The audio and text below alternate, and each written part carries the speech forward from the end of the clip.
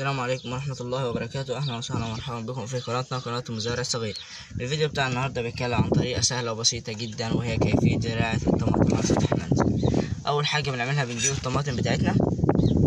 هنبدأ نقطعها بالشكل ده.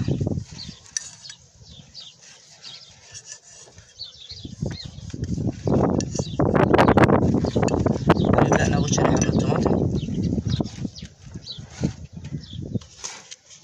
نحطها في التربة بالشكل ده.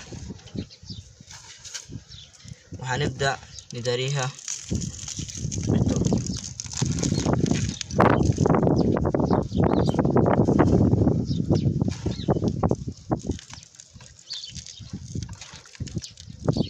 ولازم نتأكد إن هي اتدارت تماما تحت.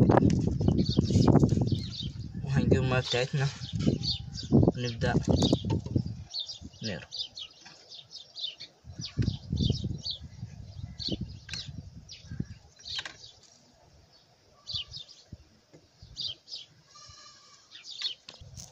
وهنقرا الطماطم بتاعتنا كل ما نحس إن التربة نشفت عليها